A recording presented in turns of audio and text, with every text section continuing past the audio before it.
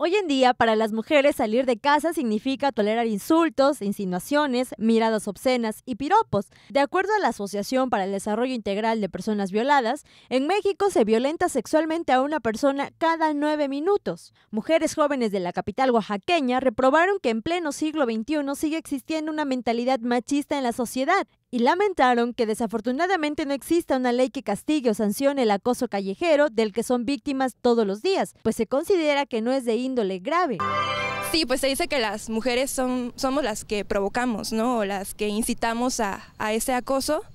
Y pues yo creo que no, yo creo que también viene tanto de la educación y de la cultura en la que estamos inmersos, ¿no? Que es una educación muy machista. No dejarse también, yo creo que a veces cuando nos acosan nos da miedo, este, decir, este, oye, déjame, ¿no? Incluso, este, yo creo que también sería una sugerencia grabar grabarnos, saben quién te está acosando, porque eso previene de saber quién, quiénes son, ¿no? Porque no hay esa ley. Tengo entendido que tiene que ser hasta violación o hasta cuando ya haya ese, se haya consumado, ¿no? Como un acto así. Pues vas caminando así y de repente, o en los camiones, ¿no? De repente empiezan a gritar y, y sí llega a molestar, pero pues a veces él no sabes cómo reaccionar o en qué forma defenderte, pues simplemente son como chiflidos o gritos que, que molestan.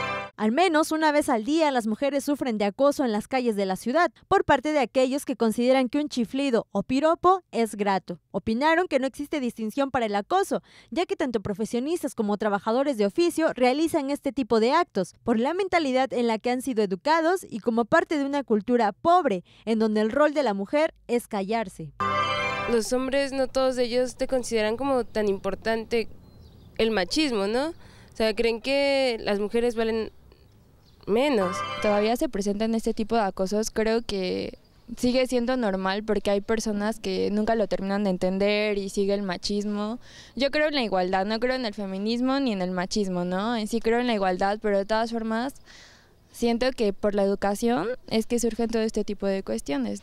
Pues que haya más seguridad en las calles, porque en sí lo que hacen los oficiales solo se dan un rondín y eso es todo, ¿no? Pero no saben que ahora desde las 12 de la tarde o desde las 9 de la mañana ya hay personas que están persiguiendo muchachas, ¿no? Con imágenes de Pablo Cruz, informó para MBM Televisión Cecilia Bautista.